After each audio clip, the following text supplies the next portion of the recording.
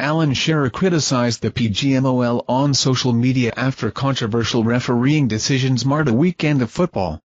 Chelsea and Coventry City were denied penalties in the FA Cup matches against Manchester City and Manchester United, respectively. Nottingham Forest also had three penalty appeals denied against Everton Forest released a statement expressing their frustration and demanded the release of match officials' audio. Mark Clattenburg criticized Anthony Taylor and the PGMOL for the errors, emphasizing the need for smarter refereeing appointments.